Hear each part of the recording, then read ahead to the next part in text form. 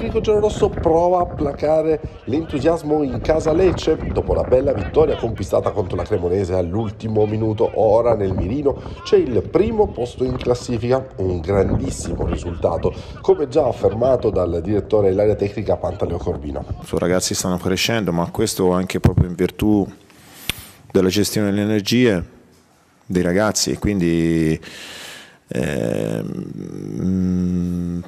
devo dire ancora do, domani mattina facciamo ancora una seduta e voglio, voglio prendermi ancora qualche ora di tempo per, fare, per, per decidere, però c'è, c'è, ci potrebbero essere qualche variazione. Ecco perché è giusto nel, nell'economia. Rispetto all'ultimo impegno ci saranno delle novità, una piccola rotazione, ma nulla che vada a stravolgere quello che è il modus operandi del Lecce in questo momento, che gira come una macchina perfettamente rodata.